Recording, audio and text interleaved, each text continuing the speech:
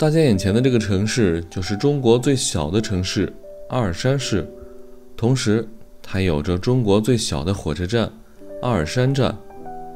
这座城市位于中国和蒙古边境，属于中国内蒙古自治区兴安盟，人口仅四万多，但与蒙古的边境线有近一百公里长。阿尔山最为人知的就是这里的美景，除此之外，据说它是中国最小的城市。这个最小指的不是辖区面积，而是主城区的面积。飞起无人机就能看到整座城市的全貌。它坐落在大兴安岭群山环抱中，一条主干道穿城而过，旁边有条小河。我们来的时候正是雪季，整座城市都被白雪所覆盖，小河和大地变成了同样的一片白色。在市内主干道上开车只用了几分钟。我们就穿过了整座城市。这几年，我们走过中国的许多地方，这么小的一座城市，真的是第一次遇到。虽然城市不大，但阿尔山各种设施却很完善，游客中心、各式各样的酒店、餐厅、新华书店、学校、体育场全部都有，建筑建得格外漂亮。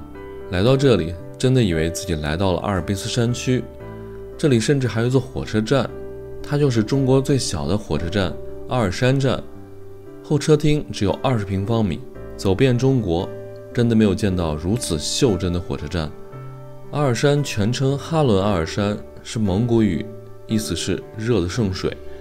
原因就是阿尔山有一些山泉水，即使在冬天，泉眼也可以流淌出水来，泉水甘甜可口，甚至连当地人都会提着各种各样的容器来这里打水回家喝。阿尔山虽然不怎么有名，但是这个城市却如世外桃源一般遗世独立。无论任何季节来到阿尔山，它都会向你展现出它美好的一面。每个季节的阿尔山都有不同的特色：春夏时节的绿色草原，秋季的金黄色树木，冬日的雪景。除了美景，阿尔山还有很多历史遗迹。日本曾经把这里作为中转站运输物资。阿尔山火车站就是二战时日本所修建。除此之外，我们还去探访了一座日本在这里修建的军事堡垒。总之，阿尔山是一个特别让人难忘的小城。大家好，我是狒狒，我们现在在内蒙古兴安盟的阿尔山市。很多年前，一张关于阿尔山的秋季美景照片，就让我对这个地方心生向往了多年。那现在我们真正的站在阿尔山的时候啊，环顾四周，我真的感觉一切美的都不真实。我们是昨天晚上的七点才到的阿尔山，当时来的时候啊，天全部都黑下来了。呃，来的那会儿呢，整个城市都是在灯光的笼罩中，当然这个灯光也很漂亮。但今天早上，当我拉开窗帘看到外面这个世界的时候啊，太震撼了，整个的地都是白茫茫的。当时天空呢已经天晴起来了，已经有蓝天白云在映衬着那种欧式的房屋小尖顶。真的恍然间觉得自己在阿尔卑斯山的下面某一个瑞士的小镇子里面。早上起床之后啊，文涛把整个阿尔山市区航拍了一遍，果然如大家所说，阿尔山呢可以说是我们国家最小的城市之一了。作为一个县级市呢，它只拥有三万多的人口，而且呢，整个县城哈从东到西，从南到北，差不多开车五分钟就能穿完了。那早上我们航拍的时候啊。阿尔山超漂亮，在这个大兴安岭林区里面，它就像一个童话世界一样的，特别美啊！这样我们那飞机是这样子，呃，这样的一个方向穿过去之后呢，阿尔山它整个是呈比较窄的一个条带状的分布。那我们在阿尔山市游览的第一站，我们就来到了阿尔山的火车站。实不相瞒哈，当年非常打动我的那张照片，正是秋季的阿尔山火车站的景色。大家看一下我身后的这座阿尔山火车站，它的造型是不是和我们呃内地其他城市的火车站不太一样呢？没错哈，这座火车站是一九三七年的时候由日本人修建的。那在那个时候呢，日本人他们驻扎在这里，那为了当时也是掠取我们整个东北地区的资源，在这里修了很多的火车站。呃，国内有这样一种说法，就说是整个的东北，就指的是大东北地区，包括东三省加内蒙古的呼伦贝尔、兴安盟这一块儿，是全国火车站最密集的地区。那有人统计过，在这一块地区一共有大大小小八百多个火车站，包括我们知道的大站，像哈尔滨、沈阳这种；小站呢，像横道河子呀、阿尔山站啊，虽然这些形态各异、造型精美的火车站的确成为现在的东北大地上非常亮丽的风景线，但是呢，它毕竟也是曾经哈日本入侵我们中国东北的铁证之一了。那话说回来哈，大家看我身后的这一座阿尔山火车站，它整体呢是呈现一个两层的一个格局的哈。呃，首先这个一层就是全由花岗岩堆砌而成的，而且它是那种不太规则的，把整块整块的岩石堆在一起。那这个火车站的二楼基本上就是木质结构了，呃，颜色也非常的丰富，在这种蓝天的映衬下，呃，这个二层的火车站主体颜色是明黄色，那中间那些木头的颜色是刷成了那种暗绿色、军绿色，再加上这个褐色的房顶上面又有白白的积雪，就非常的漂亮，很好看。虽然这座火车站从修好到现在已经过去了八十多年，但它的建筑非常的稳固，直到现在呢依然在正常的使用中。我们现在往后面走一走，因为呢这会儿的站台上就停着一辆列车，应该是正在检修中。呃，刚刚我们看到有很多旅客已经过来了，但是还没有到发车的时间啊。大家有没有听到这个火车引擎的声音啊？从车头上看呢，这是一辆呃客运列车。在火车的车身上写着沈局白段，就说明这个呃这一块儿这个铁路包括火车站的归属地，这块呢是属于沈阳铁路局长春机务段的。然后我们这一段的客运线叫做白阿段，指的是从呃吉林省的白城到阿尔山这一段，中间会通过新安盟的那个行政中心叫乌兰浩特，最后到了阿尔山这里。那现在呢，我们就去这个。阿尔山火车站的候车室去看一下，很多人啊都把阿尔山火车站称为全中国最小的火车站，它真的是足够小。当我们刚才站得比较远的时候啊，我们都没有认出来这是火车站，因为整个的一楼包括候车室还有售票室这里，其实就跟我们上小学的时候一间教室那么大一点。我们现在去里面看一看，你看这边都是这种很不规则的花岗岩做的，你看这这边就凸起比较大。这又凹进去，而且形状也不一样。中间呢是用这种粘合剂把它整个粘在一起的。嗯，当时的这个建筑呢还是挺结实的啊。直到现在呢，我们国家也是把它一直保留下来，也是作为一个文物保护吧。到现在，而且是正常使用中的。这个候车室呢是有一个营业时间的，是九点到十点，下午的三点半到五点。因为这是个小站嘛，每天从这儿经过的列车不是不是很多，所以呢，现在是上午的十一点，里面应该是没有什么人的。我们去里面看看。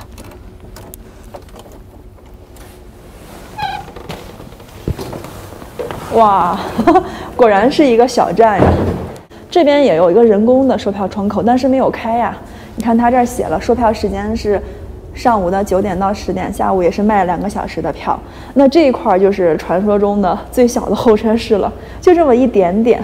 完了，这边有一个安检机，从这儿就检票口就上去了。出了检检票口之后呀，也没有什么楼梯啊什么的，直接出去就是站台，站台旁边就停放着列车，就这么小一个小站啊。我们来到这个阿尔山火车站之后呢，它。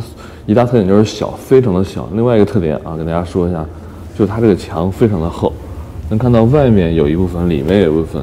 这个墙就是里面和外面厚度加起来，感觉有一米了，没有一米有七八十公分，超厚。嗯，有一个原因就是因为阿尔山啊，它处在它海拔比较高，而处在群山之中，在大兴安岭群山之中这边，其实温度特别的低。对。就是冷空气非常容易在这个地方聚集，聚集之后呢，它的气温特别低。像我们就是前段时间在那个漠河和根河啊那边，的确是因为纬度比较高嘛，都是到北纬五十一、五十二那个位置了。那这边其实已经大家看地图，它靠南已经非常多了，但是气温跟根河、漠河是差不多的。像我们昨天晚上来的时候啊，当时呃晚上七点这边气温是零下十七度，今天早上起床的时候气温是零下十九度。就还是比较冷的啊！大家看我把这个收起来好几天的厚帽子就戴上了，真的是有有些凉。这边夏天的温度哈，最高也就二十度，对，特别适合避暑。如果大家夏天来玩还是挺好的。反正我昨天晚上就看到我们那个住的酒店哈，它有地暖，但是不需要装空调，夏季不需要任何降温的措施，而且我们那个床上是有两个电热毯取暖的。对，还有看这个门儿也是斑驳的。满满的都是历史的痕迹啊！其实阿尔山真的挺小的，我们这个车开了没几分钟，感觉快把整个城穿完了。阿尔山这个城市真是漂亮呀，都不知道怎么去形容它了，确实美。哎，这还有公交呢。其实这个城就是感觉人很少，整条大街上也没看到几个。那现在我们走的这一段应该是最热闹的了，在别地儿没见没见过这么多店铺。我们现在终于来到了阿尔山市的市中心，旁边的这条路叫做温泉路，是整个阿尔山市的主干道，就是从这儿呃一个两三公里长的道，两边分布着住宅区、店铺，还有各种政府机构，全都在这里了。我们去前面看一下。哎呦，这有一个好大的旅行社呀！哇，我才发现这个房子造型挺好看的啊。嗯，还有那边一长牌儿，而且它上面都有花呀，虽然是假花，但是感觉就是那种嗯春日花城的感觉。这阿尔山的狗都这么漂亮，这好像是只小秋田。秋田？对，是只串的。母的秋田。走吧。这秋田都没人要了。这边吃的还挺多的，你看有内蒙古特色的冰煮羊，还有这个呃山里屯铁锅炖、排骨米饭、醉山城。这个地方就是它虽然已经嗯地处这个内蒙古了嘛，但是这个大东北地区的概念是包括内蒙古东北部的，所以这边铁锅炖啊，还有就是像一些东北特色的小吃，这儿也是有的啊。阿尔山真的是一个美丽的冰雪小城啊！不光这边建筑很漂亮呢，两边。有各式各样的雪雕，我们过来一路能看到这熊啊、企鹅雪雕，然后在银行门口还有一个牛的雪雕，还挺好玩的。整个城市就一副特别美丽的雪城的样子，真好看，那个花太漂亮了。对，刚才在拍那个花，那个花就跟现在我们看到的这些雪啊，到处白茫茫的一片，特别的出圈啊。这个花儿在蓝天的映衬下，就感觉到现在已经到了温暖的春季了，已经。而且阿尔山这城市可以说它四季都很美，对，四季各有各的美。对，其实我们这一趟呢，本身阿尔山并不是计划中的，因为我们知道阿尔山最美的就是八九月份嘛，秋季那会儿。不过呢，我们还是来到了这里。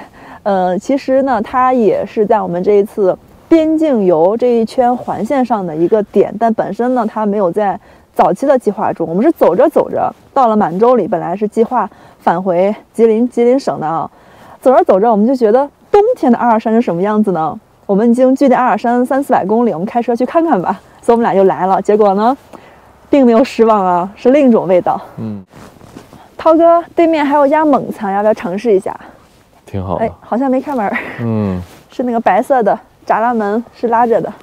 这些冷餐挺多的。各种草原羊肉、牛肉，看起来挺好吃。对，因为阿尔山的主要的少数民族就是蒙古族，还有这个回族、满族，还有少量的苗族这些。还有苗族？对，没想到吧？嗯，苗族可以居住在这么北的地方。我们现在看到了新华书店。一般来说啊，新华书店都是在一个城市，尤其是这种小县城的，都是在一个。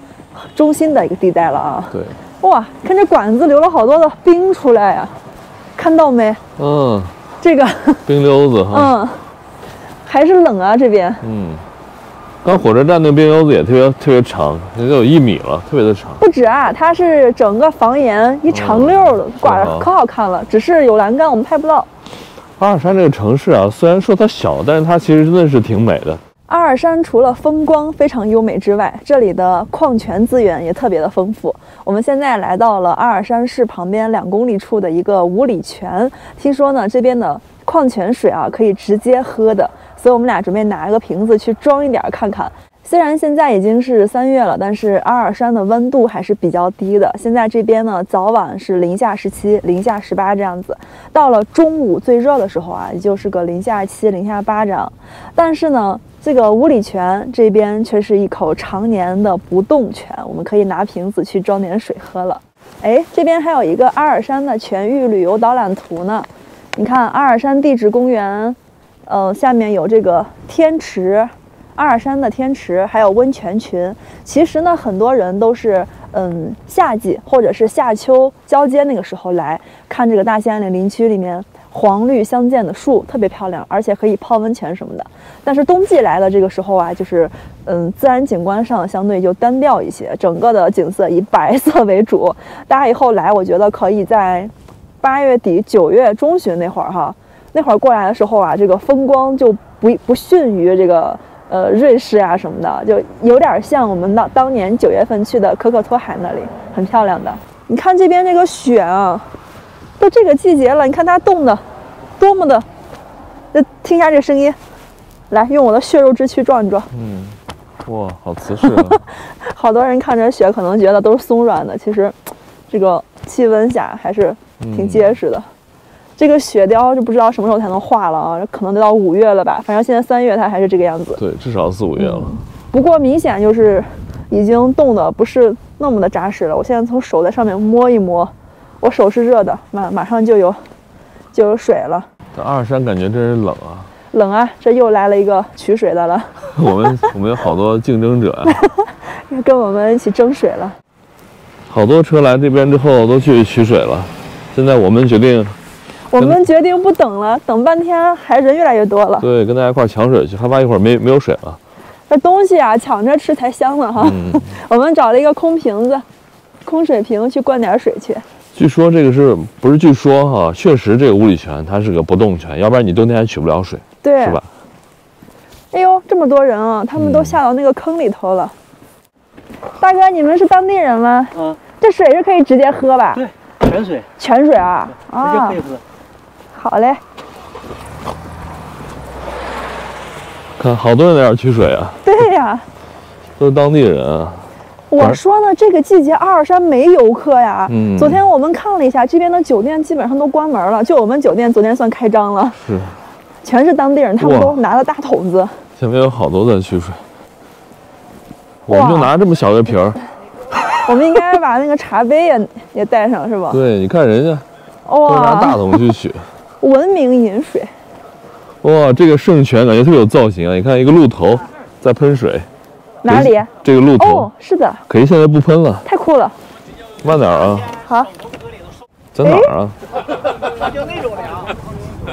拔凉拔凉的，哎，这水。它好像有，管道呢。嗯，把它接起来。这水真的没有动哎，但是我们从哪儿接呢？嗯，可以直接喝可以直接喝呀。嗯好嘞，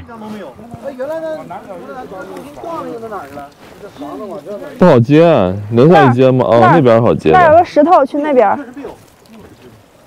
我呦，好滑呀、这边。哇，你们怕滑倒啊？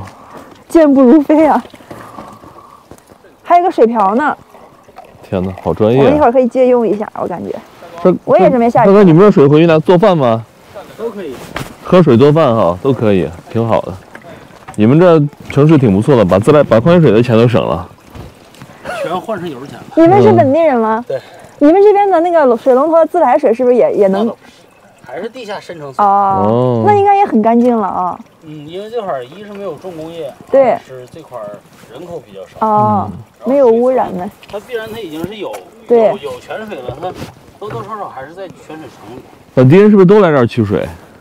方便的话就过来，哇，还就费点油钱哈。费点油钱，多了，肯定要是比这贵。对，但这水好，对身体好呀。水好。咋说的都有。刚才本地那个帅哥啊，给我们介绍了好多，他提了两个大桶，一个是饮水机那种桶，一个是那种大的塑料桶啊、接了两桶水提着走了。不过这个冰好滑呀，我看他是一路滑着滑着出去的。对，然后他说每年滑七八个月呢，早都习惯了，我先摸一下这水，还是有点凉哦。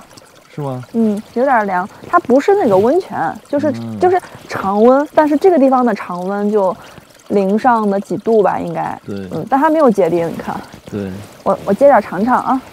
就算是不动泉啊。对，水好干净啊，你看看，真的。嗯，没有什么漂浮物什么的啊，对，还有些小气泡在里头。我尝一点儿。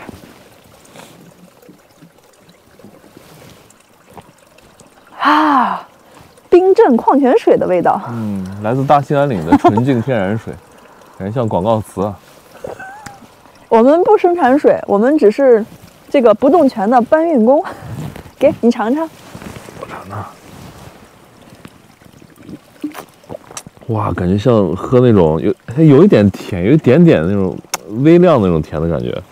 这个怎么说来着？阿尔山泉水有点甜，嗯嗯，好喝吧？好喝好喝，咱咱咱咱把它装满，装满，装满带走，省了两块钱不是？咱再买一个大桶的那种农夫山泉，把水倒了再装这然后带西安去。啊。等一下，我们买个五，我们买一个五升的农夫山泉，然后把水倒掉，对换成这个。对，这里面这个这个农夫的品牌方会不会很生气？嗯，我们来之前一直以为这就是一个景点，其实发现这就是当地人打水的一个点儿，对，很多人来这儿打水呢，还不是一个两个，基基本大多数都来这儿打。本来呢，我们觉得这个可能跟青藏公路上就是快到格尔木那块儿那个不动泉一样，就是纯粹是给游客玩的嘛。对，没想到啊，其实这就是一个当地人的一个天然的取水点啊。是，你看这管子还挺多的，嗯，一二，这两个水算大的，然后那边那两个还有稍微小一点，四个管道，呃，五个，那边还有三个，哦，然后上面还写了一个圣水齐全。嗯，走吧，咱们走，走。把这些水带走。我们现在给无人机的电池把电充上。其实我们这次出来的时候，好多人建议我们说是东北那边你们没有去过啊，那边那个所有的电池掉电特别快，建议你们至少带四到五块无人机电池，因为我们这个无人机电池哈，在那个别的地方，就正常温度的地方，一块能飞二十多分钟，但是来到这儿之后啊，确实这一块只能飞个十分钟左右就十分没有电。出头，对，特别的快就掉电，嗯，而且它这个你电池低了之后啊，它上天飞得特别的慢，所以无人机一定要保持一个满电状态才好飞一些。不过呢，这个无人机电池还是挺贵的啊，这一块要六七百块钱呢。我觉得没有必要花那么多钱买上四五块，因为我们随身带了电源嘛。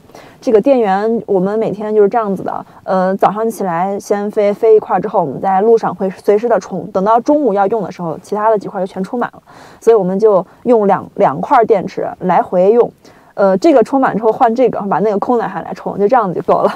我现在把这个空的充一下，好了，插上了，它已经开始闪了。应该一个小时左右，这个就充满了。反正我感觉这个电源啊，随身带一个，再也不会有什么电池焦虑了，就给我们省了其实挺多钱的。我们准备去探索一个以前的遗址，是日本人在这边留下来一个铁路相关的一个遗址。但是阿尔山的雪实在太厚了，我们刚才走的那个道，我的腿呢，半个腿已经没到雪里面了。现在付费在探另外的道路，感觉还是挺难走的。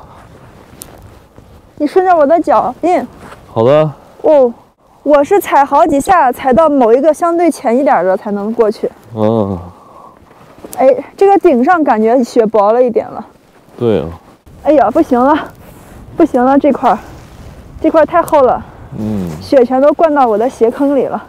其实我们要去的那个地方离我们超级近，大概五十米直线距离，在那个方向。但是现在我们走过去已经不太现实了。我们刚刚走到那个位置了，因为这块大家知道是个什么吗？这是个山谷。我本来以为它是个平地，因为大家有没有看到哈？那刚好是一个铁路下面的一个涵洞，所以这个位置是特别深的。刚才我走到前面的时候啊，这个雪就到这儿了。到这儿之后，它全部又倒灌进鞋里边了，就穿这个高腰的雪地靴，也不太现实了，过不去。一会儿让文涛在这儿航拍一下算了，我们实在是到不到跟前去。我跟大家描述一下，就我们一会儿要去的那个地方是什么样子的啊？那个地方呢，其实是一个呃转盘，它转盘是干什么用的呢？就是当时哈都是那个蒸汽的机车，是需要用人工来实现这个火车的转向的。那大家想象一下，那个转盘就是一个非常大的一个圆盘。当火车开上去之后呢，火车头就和后面车厢会分离掉。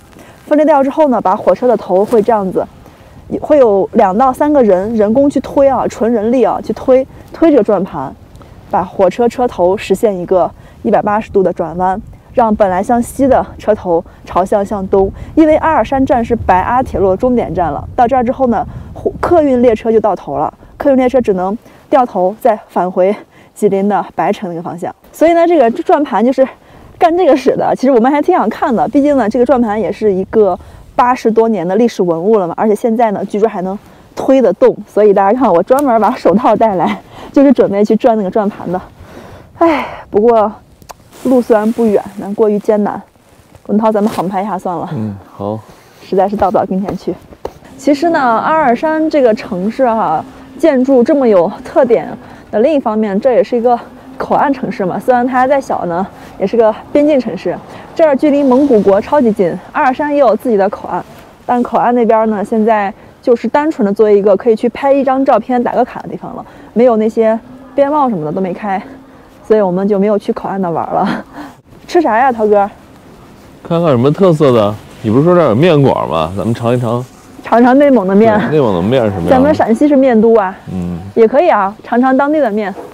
我请你吃面吧。